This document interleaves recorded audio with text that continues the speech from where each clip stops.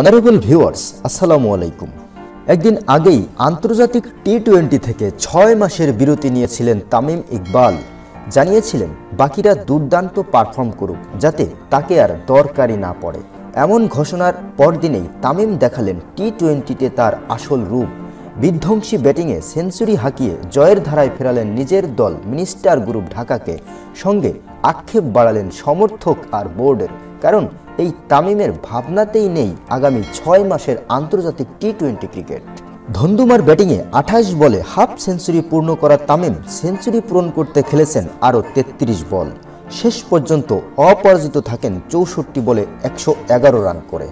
দুর্দান্ত এই ইনিংসটিতে আছে সতেরোটি চার ও চারটি ছয়ের মার। তাতে সিলেট সানরাইজার্সের বিপক্ষে বিশাল লক্ষ্য তাড়া করতে নেমেও অসাধারণ জয় তুলে নিল মিনিস্টার গ্রুপ ঢাকা।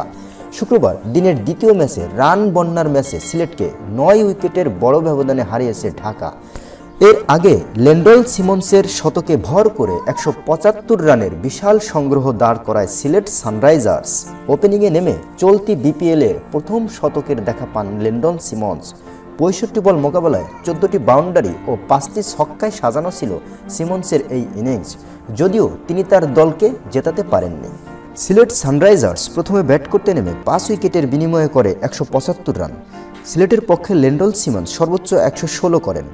জবাবে মিনিস্টার গ্রুপ ঢাকা আঠারো বল বাকি থাকতেই একশো সাতাত্তর রান করেন। ঢাকার পক্ষে তামিম ইকবাল সর্বোচ্চ একশো এগারো রান করেন। Dear viewers, thank you for watching this video. Please subscribe my channel.